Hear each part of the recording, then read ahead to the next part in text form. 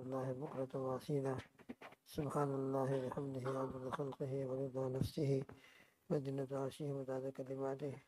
سبحان الله بحمده سبحان الله العظيم. نستغفر الله الذي لا إله إلا هو الحي القيوم ونتوب إليه.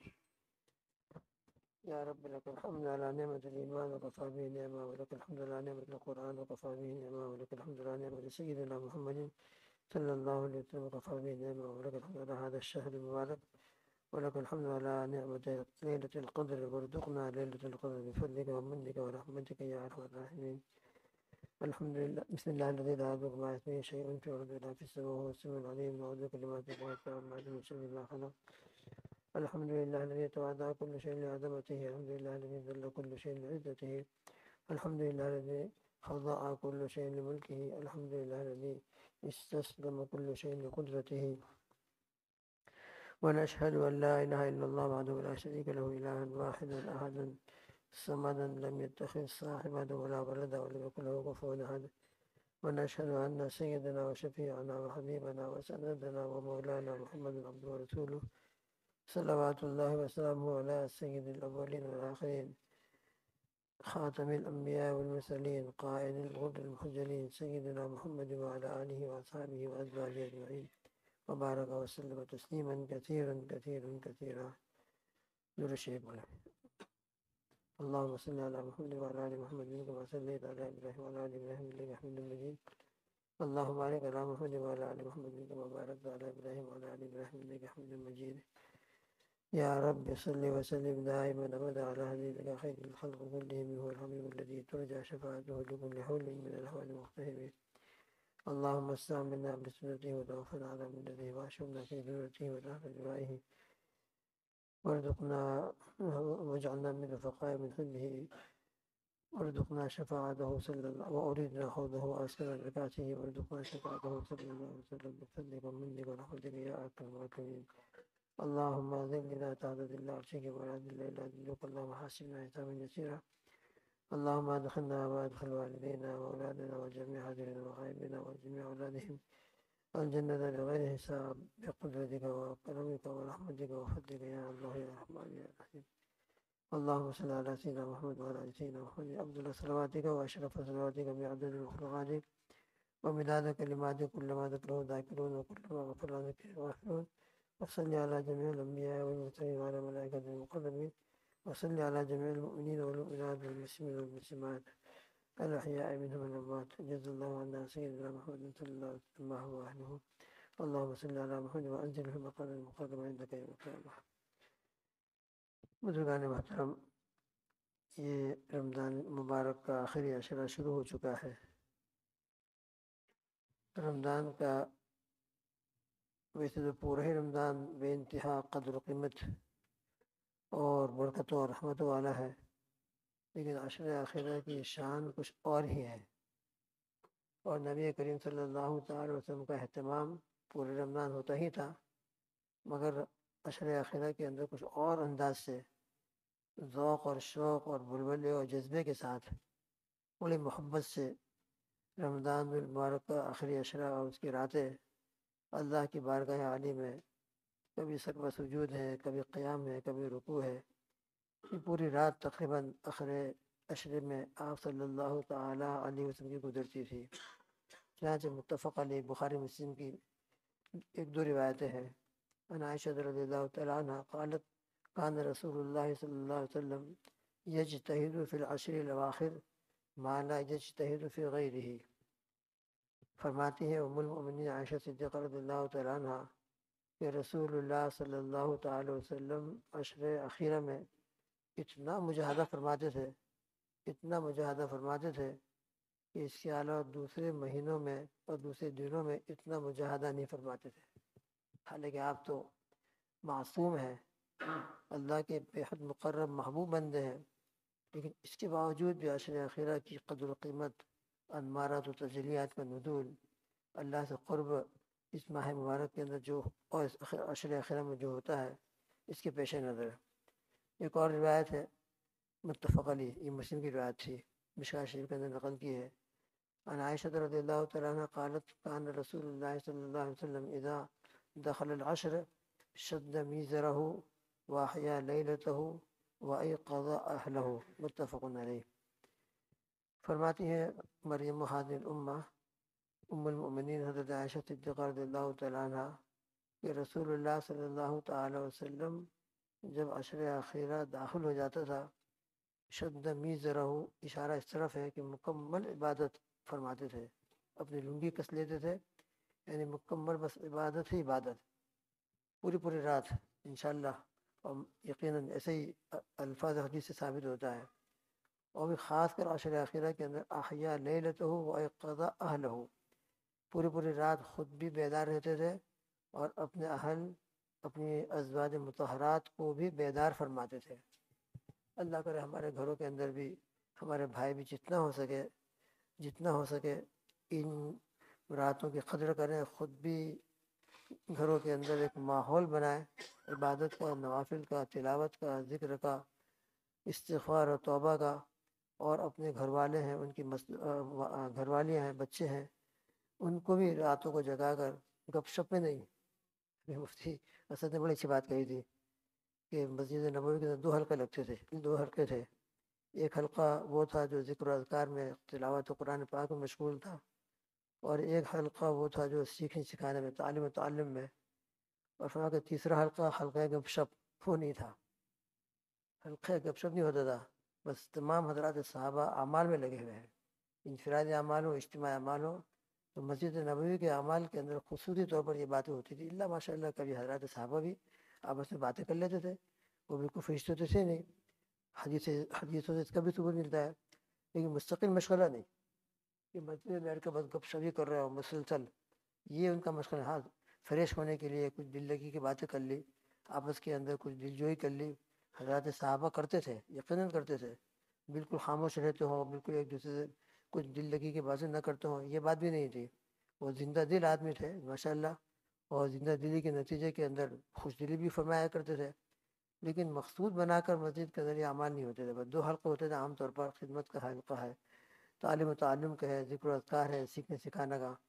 تو خیر بار آپ صلی اللہ علیہ وسلم خود بھی راتوں کو، ان راتوں میں بیدار رہتے تھے اور گھر والوں کو بھی۔ تو گھر والیوں کو بھی چاہیے مستورات کو بھی چاہیے کہ ہمارے گھر والے اگر اللہ کی توفیق سے کچھ مشغول ہے تو ہم بھی مشغول ہو جائیں، بلکہ مستورات بعد مرتبہ آگے ہوتی ہیں مردوں سے۔ وہ اپنے گھر والوں کو جگاتی ہیں، وہ اپنے گھر والوں کو آمادہ کرتی ہیں۔ اللہ کا ایسا بھی ہو، بالا جو بھی ہو، ادھر سے ہو یا ادھر سے ہو، لیکن گھروں کے اندر ایک ماحول بنا ہوا ہو۔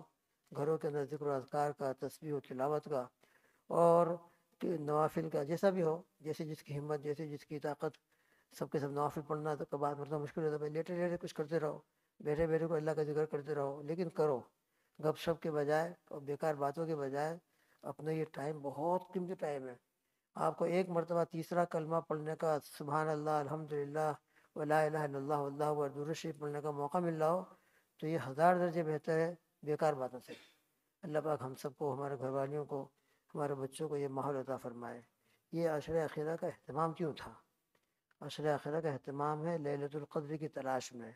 چنانچہ حضور پاک صلی اللہ علیہ وسلم نے فتح رمضان کے اندر حضرت شیخ رحمۃ اللہ جو روایت نقل کی ہے، نبی کریم صلی اللہ علیہ وسلم فرمایا کہ للت القدر اور للت القدر کی فضیلت میں پورے قرآن مجید کی ایک صورت ہے، سورہ قدر۔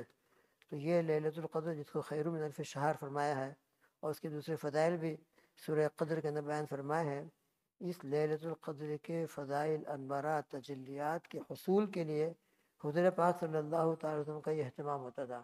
اور خاص طور امت کو بھی متوجہ فرمایا کہ تم للت القدر کو تلاش کرو اور طاق راتوں کے اندر ٹونٹی ون ہے ٹونٹی تھری ہے، فائیو ہے، سیون ہے، نائن ہے، بلکہ پورا شیخ رہے جاگتے رہے ہم ماشاء اللہ تو بہت بہتر ہے۔ نہ معلوم کبھی کبھی ایسا بھی ہوا ہے کہ چوبیس رات کو بھی شب قدر ہوئی ہے۔ لہٰذا ہو سکتا ہے کہ درمیان کے جو طاق راتوں کے علاوہ دوسری راتیں ہیں، اس میں بھی ہو جائے۔ اس لیے کوشش یہ ہو، طاق راتوں کا اہتمام زیادہ ہو۔ اور اس میں خاص کر ستائیسویں رات کا تو اہتمام اور بھی زیادہ ہو۔ اس سے کہ ستائیسویں رات کے اندر شب قدر کا ہونے کا احتمالات بہت زیادہ ہوتے ہیں، لیکن بالکل فکس نہیں ہے۔ اگرچہ بعض روایتوں سے معلوم ہوتا ہے کہ ستائیسویں رات ہی میں ہوتی ہے، لیکن یہ فکس نہیں ہے۔ لہٰذا عشر اخیرہ کے اندر خوب ہم کوشش کریں، جس کے بارے میں فرمایا خیر میں الف شہر اس رات کے اندر کیا کیا برکتیں اترتی ہیں، کیا کیا برکتیں نازل ہوتی ہیں، کیا انوارات و تجیرات اور اللہ کا کیا قرب حاصل ہوتا ہے، ایک واقعہ سے ہم اندازہ لگائے ایک واقعہ سے حضرات صحابہ تو بہت اعلیٰ درجے کے اور نبی کے صحابہ کا مقام ہی کیا ہے تو اللہ جانتا ہے۔ ہمارے زمانے کے جو قریب زمانے گزرے ہمارے ہمارے اکابر علماء دیوبند کے اندر اور بزرگان دین کے اندر، حضرت سید احمد شہید رحمۃ اللہ علیہ، ان کی عجیب حالت ہے۔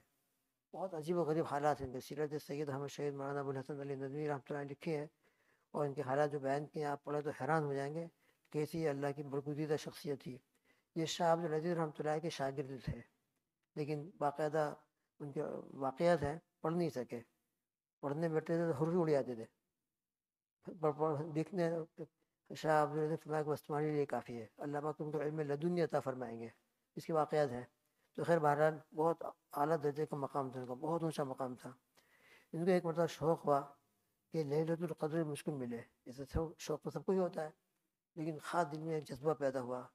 تو اپنے استاد محترم شاہ عبد العزیز رحمۃ اللہ کی خدمت اقدم میں حاضر ہوئے اکیسویں رات میں رمضان کی اور عرض کیا میرا شیخ، میرے استاد، میرے مربی دل چاہتا ہے کہ شب قدر مل ہی جائے۔ ایسے تو شیخ کا اور عبادتوں کا اہتمام تو تھا ہی، لیکن ایک دل میں جذبہ تھا، شوق تھا اپنے استاد کی خدمت میں حاضر کا عرض کیا۔ تو استاد محترم شاہ عبد العزیز رحمۃ اللہ بہت کو اعلیٰ درجے کے انسان ہیں، بہت اعلیٰ درجے کے۔ عجیب و غریب سترہ سال کی عمر کے اندر تمام علوم اللہ نے ان کو عطا فرما دیے تھے۔ تفسیر عزیزی لکھنا شروع کی ہے۔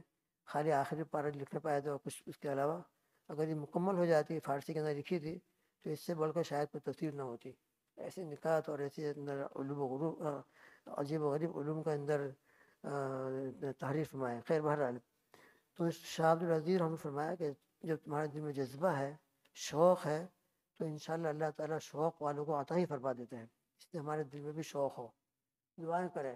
اللہ سے مانگیں کہ اللہ شب قدر ہم کو نصیب فرمانا، ہمارے گھر والوں کو نصیب فرمانا، کسی کو بھی محروم نہ فرمانا۔ اس لیے کہ حدیث میں آتا ہے کہ شب قدر جس کو مل گئے بہت بڑی سعادت مندی ہے، اور جو اس سے محروم رہا تو اس سے بڑھ کر کوئی محروم نہیں۔ کہ اتنی مبارک رات، اتنی برکت والی رات اور غفرت میں گزر جائے۔ اللہ اسے کم سے کم کم سے کم ہم ان دنوں کے اندر مغرب کی نماز باجماعت عشاء اور تراوی پوری اہتمام کے ساتھ اور فجر کی نماز باجماعت اس سے کہ عشاء اور فجر پڑھنے پر بھی پوری رات کی عبادت کا ثواب ہے۔ اور مغرب کی نماز للت القدر اگر ہے تو مغرب ہی تو شروع ہو جاتی ہے۔ تو مغرب ہے، مغرب کے بعد ہم نے کچھ رکعتیں پڑھی ہے تو انشاءاللہ وہ بھی ہمارے شب قدر کی عبادت کے اندر آ جائے گا۔ تو بالکل محرومی نہیں ہوگی۔ اگر ہم نے ان نمازوں کا بھی اہتمام کر لیا ہے مغرب کی نماز باجماعت اور عشاء کی نماز باجماعت تراوی اہتمام کے ساتھ، غفلت کے ساتھ نہیں، بیٹھے رہے نہیں، بلکہ پوری تکبیر اللہ کے ساتھ۔ اور پھر اس کے بعد فجر کی نماز باجماعت اور اللہ نے توفیق دے دی، رات کو جتنا بھی ہو گیا، تو خیر عید حاضر ہوئے۔ تو شاہ عبد العزیز نے فرمایا کہ بیداری بیدار رہنا الگ بات ہے، لیکن اللہ رب العزت جب اس کو کسی کو عطا فرمانا چاہتے ہیں، تو اتفاق سے اگر وہ سو بھی رہا ہو، اتفاق سے، تو اللہ تعالیٰ اس کو بیدار کر کے عطا فرما دیتے ہیں۔ خیر یہ تو آ گئے اپنے شیخ کی بات سن کر، اپنے استاد کی بات سن کر، اور دل کا ایک بلبلہ تھا، اور دل میں شوق تھا، اور شیخ کے استاد کی بات تھی، تو ان کو یقین تھا کہ اللہ پاک میرے لیے انشاءاللہ انتظام فرمائیں گے اور انشاءاللہ یہ رات مجھ سے انشاءاللہ اس مرتبہ مس نہیں ہوگی۔ چنانچہ اتفاقی بات تھی کہ ستائیس میں شب تھی، ان کو نیند آ گئی اتفاق سے اور سو رہے تھے۔ تو کیا دیکھتے ہیں خواب کے اندر کہ دو شخص تشریف لائے اور دو شخص کون تھے وہ؟ اللہ کے پیارے حبیب صلی اللہ علیہ وسلم اور سیدنا ابو کے صدیق رضی اللہ تعالیٰ عنہ۔ ان کو اٹھایا، احمد اٹھو اٹھو، آج شب قدر ہے۔ جاؤ غسل کرو اور اللہ کے دربار میں حاضر ہو جاؤ۔ بس یہ اٹھے فوراً۔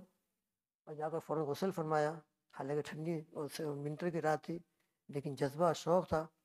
اور غسل فرما کر، کپڑے تبدیل فرما کر، بس اللہ کے دربار عالم حاضر ہو گئے۔ اور ان کی عبادت عبادت ہوتی تھی۔ اللہ ان کو اس کا بھی کچھ ذرہ نصیب فرما دے۔ اللہ کی بارگاہ علی کے اندر مشغول ہو گئے۔ اور مشغول ہونے کے بعد کیا ان کے اوپر انوارات کھلے ہیں؟ اور کیا اللہ کی تجلیات ان کے قلب میں نادل ہوئی ہیں؟ فرماتا ہے کہ ایسا معلوم ہو رہا تھا، ایسا معلوم ہو رہا تھا کہ انوارات کی بارش ہو رہی ہے اور دنیا کی ہر چیز درخت ہو، پتھر ہو، سب کے سب سجدے میں ہے۔ سب کے سب اللہ کے سامنے عبادت میں مشغول ہیں۔ اور عجیب و غریب قلب کے اوپر واردات ہوئے اور عجیب و غریب اللہ کی طرف سے قرب الہی نصیب ہوا۔ بہت خوش ہوئے، بہت دل کو اطمینان نصیب ہوا کہ اللہ رب العزت نے الحمدللہ آج کی رات شب قدر نصیب فرما دی۔ صبح ہوئی۔ اور صبح ہونے کے بعد اپنے شیخ خدمت میں حاضر ہوئے اور رات کا پورا واقعہ بیان کیا۔ کہ رات ایسا ایسا ہوا، اتفاق آنکھ لگ گئی تھی، لیکن اللہ کے پیارے بھی ساتھ میں تشریف لائے۔ اللہ کے حبیب صاحب کے ساتھی ہیں، صدیق اکبر، اور ان دونوں نے آ کر اس کو بیدار کیا۔ اور بیدار کر کے عرض کیا کہ آج شب قدر ہے للت القدر ہے۔ اور پھر اس کے بعد جو کیفیت اور جو واردات اور قلب کی حالت جو اللہ نے عطا فرمائی وہ بیان کی۔ شاہ عبدالعزیز رحمۃ نے فرمایا، بہت خوش ہے بہت خوش ہے فرمایا کہ بس اللہ سبحانہ تعالیٰ کا ہزار ہزار شکر ہے کہ آج کی رات تم اپنی مراد کو پہنچ گئے۔ اللہ سے تم نے جو مرادیں مانگی ہیں اور جو قرب الہی کی دل میں تمنا تھی، اللہ نے تم کو عطا فرما دی۔ چنانچہ اس کے بعد جو ان کی ترقیات ہوئی ہیں اور جو مقامات اللہ نے کو عطا فرمائے سیرت سید احمد شہیدہ پڑھیں گے تو اندازہ ہوگا کس درجے کے یہ شخص تھے۔ اور اللہ نے کیا ان کو مقام عطا فرمایا تھا؟ قافلے کے قافلے چلتے تھے اور عجیب و غریب حج فرمانے گئے تھے اور عجیب و غریب ان کے حالات ہیں۔ تو یہ خیر بہرحال شب قدر کی برکت سے ان کے اوپر یہ واردات ہوئے اور قلب کے اوپر یہ تجلیات الہی کو نزول ہوا۔ اس لیے یہ رات بہت ہی برکت والی ہے اور بہت ہی رحمت والی رات ہے۔ جیسا جیسا انسان کا جذبہ ہوگا، جیسا جیسا دل کی تمنائیں ہوں گی، اللہ کے قرب کی، اللہ تعالیٰ سے شوق اور محبت کی، اللہ کی خشیت کی، اللہ پاک انشاءاللہ محروم نہیں فرمائیں گے۔ اس لیے ہمیں سے ہر ایک تمنا کرے، دعائیں مانگے کہ اللہ ہم کو شب قدر نصیب فرمائیے۔ اس کی تجلیات، انوارات سے بھرپور حصہ ادا فرمائیے۔ قلب کے اندر بس آپ کی محبت ہو جائے، قلب منور ہو جائے، ظلمت ختم ہو جائے اور قلب کے اندر آپ کی محبت والی نماز ہے آپ کی محبت والا ذکر، آپ کی محبت والے تلاوت اور قلب کی دل کی دنیا ہی بدل جائے۔ دل کے اندر بس آپ کے صحابہ کوئی نہ رہے۔ لا الہ الا اللہ۔ کہ لا الہ الا اللہ کی مقصد ہے۔ کہ سب ختم، لا الہ کے اندر ہمیں سب کی نفی کر دی، سب کو دل میں سے نکال دیا اور الا اللہ کہہ کر دل میں اللہ کو بسا لیا۔ اللہ کہنے والوں کو بھی یہ کیفیت نصیب فرما دے، سننے والوں کو بھی اور ہر ایک کو نصیب، ہمارے گھر والیوں کو بھی، بچوں کو بھی۔ لفظ لا الہ الا اللہ کی حقیقت نصیب فرما دے۔ لا الہ الا اللہ یہ بہت افضل الذکر لا الہ الا اللہ بہت اعلیٰ درجے کا کلمہ ہے۔ لہٰذا کم سے کم سو مرتبہ ہم روزانہ پڑھنے کی عادت رہے کسی سے ہم مرید ہوں، تعلق ہے شیخ تو انہوں نے جو معمولات بتلائے ہوں، جو ذکر بتلائے، اس کی پابندی کریں، ورنہ اگر کسی سے ابھی تعلق نہیں ہو، تو کم از کم جو ہمارے معمولات ہیں، تسبیحات کی پابندی ہے، تیسرا کلمہ ہے، اور درست شریف ہے، اور استغفار اس کے ساتھ ایک تصویر لا الہ الا اللہ کی بھی توجہ کے ساتھ پڑھنے کی عادت ڈالیں۔ فضائل ذکر کے ساتھ شیخ نے ایک روایت نقل بھی کی ہے کہ جو روزانہ لا الہ الا اللہ توجہ کے ساتھ لا الہ الا اللہ الا اللہ کی ضرورت دل پر لگائے۔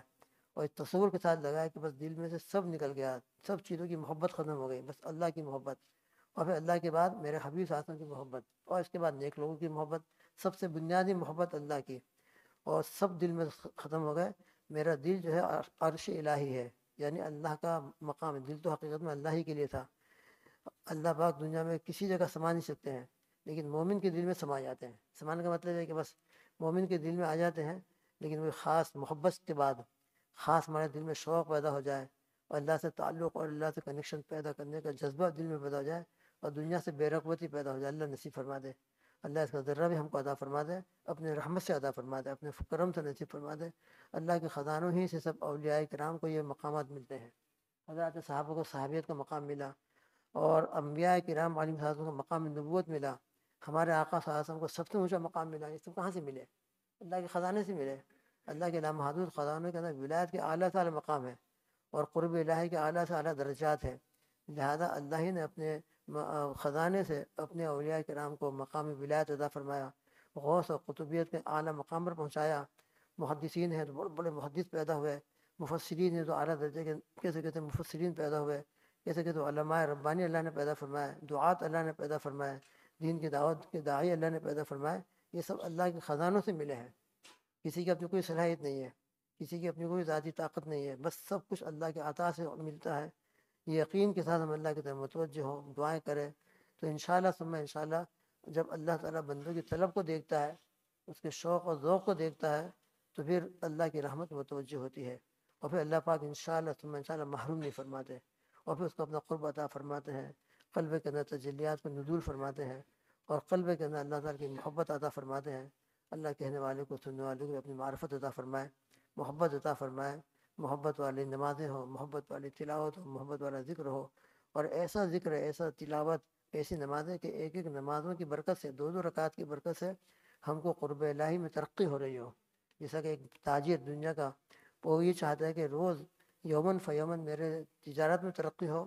تو اللہ کا طالب اور اللہ کی محبت کا عاشق اس کی دل کی تمنا جو ہے کہ قرب الہی کے اندر روزانہ یومن فیومن سعتاً فساعتاً، اس میں ترقی مجھ کو ہوتی جائے۔ میں ریورس نہ ہو جاؤں، ڈاؤن نہ ہو، بلکہ میری زندگی کا ایک ایک دن اللہ سے قرب کے اندر اور میں آگے بڑھ رہا ہوں میں اور ترقی نصیب ہو رہی ہو۔ اللہ پاک کہنے والوں کو بھی، سننے والوں کو بھی نصیب فرما دے۔ اپنے فضل سے، اپنے اولیاء کو اللہ نے جو مقام ولایت عطا فرمایا ہے، مقام قرب عطا فرمایا ہے، ہم کو بھی اپنے فضل سے عطا فرما دے۔ ولایت نسبت صدیقی عطا فرما دے، اپنی محبوبیت عطا فرما دے، اپنا قرب نصیب فرما دے، مقبول بندوں میں اور ہمارے گھر والیوں کو، ہمارے بچوں کو، حاضرین کو، ان کے بچوں کو، ان کے رشتہ داروں کو، ہمارے والدوں کو، سب کو اللہ تعالیٰ اپنے مقرب بندوں میں شامل فرما دے۔ سب کے ایمان کی حفاظت فرمائے، ہمارے نوجوان بچے، بچیوں کو بھی خوب محبت الہی نصیب ہو، عشق الہی نصیب ہو اور ان کے ایمان کی اللہ تعالیٰ ہر جگہ ان کی حفاظت فرمائے۔ اللہ تعالیٰ کہیں سنی باتوں پر کہنے والوں کو بھی، سننے والوں کو بھی عمل کی توفیق عطا فرمائے۔ للت القدر ہم سب کو عطا فرمائے، کسی کسی کو محروم نہ فرمائے۔ اللہم آمین۔ سبحان اللہ بحمدہ، سبحانک اللہم بحمدک۔ ونشہد ان لا الہ الا انت، نستغفرک ونتوب الیک۔ وصلی اللہ تعالی علی خیر خلقہ محمد وعلی آلہ وصحبہ وازواجہ اجمعین۔ سبحان ربک رب العزت عما یصفون وسلام علی المرسلین۔ والحمد للہ رب العالمین۔ برحمتک یا ارحم الراحمین۔